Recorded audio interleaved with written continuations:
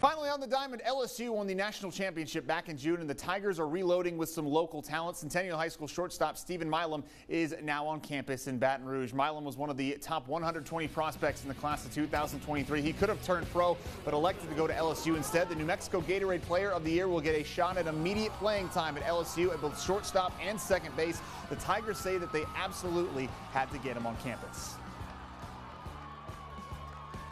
You know, when I thought about the most important pieces of getting to school, um, I had two players in my mind. He was one of the two players that I really believed that we needed to show up here. Uh, for he's a, a, terrific hitter. He has a lot of strength and bat speed and power in a smaller frame.